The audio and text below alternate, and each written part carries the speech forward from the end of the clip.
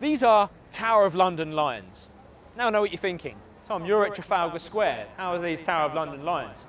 Well, they're actually based on actual lions that were based at the Tower of London.